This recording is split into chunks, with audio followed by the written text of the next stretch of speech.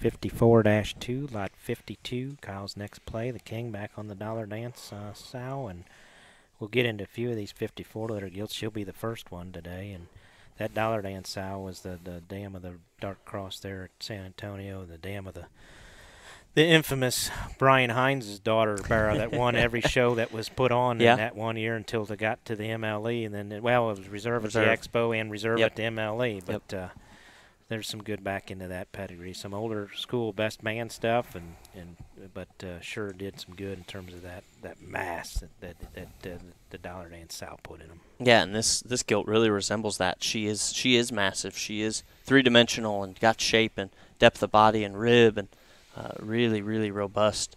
And another another litter we uh, that we'll highlight on buying from Deep Litters. Um, and this firm is, is known known for it as much as anybody of somebody buying a pig for good money and then getting a lot of money back in, at, a, at a sale. Yeah, those big ones, um, elite big ones, are really uh, are invaluable. Uh, to just to echo what Clay was talking about there, I mean, uh, it's amazing what a, an elite big one can bring. And you know, I think uh, we need to get Kyle here to come see what what his board, Uh-huh. you know, is You don't get him away from Yeah. home very often, though.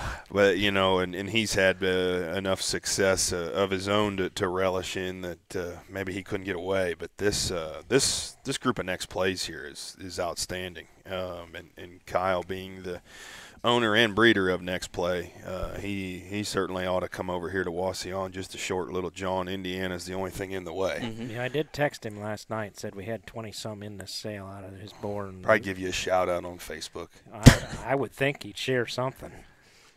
Looks good. Fifty-four dash two, lot fifty-two. Kyle's next play.